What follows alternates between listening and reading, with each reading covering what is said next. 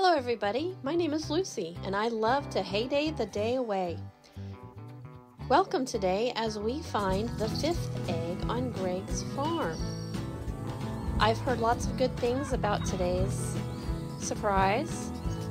I just love free things, and one of my favorite things is free deco. Somebody already ruined the surprise for me, so I can hardly wait to see it. So let's open the fifth egg now. I placed this on my farm right away. What an excellent Easter decoration for our farms. Thanks, Hay Day. Thanks for joining me, Lucy. Like and subscribe so we can Hay Day the day away together.